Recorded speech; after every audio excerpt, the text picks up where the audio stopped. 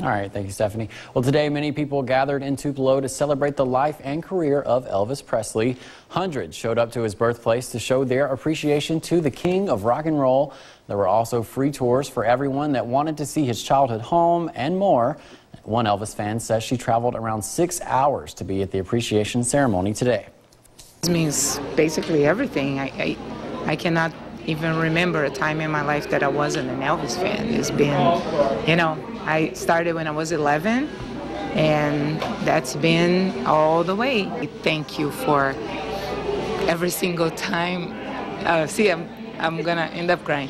Thank you for every single time he's been there. Well, Elvis Week will continue through August 17th.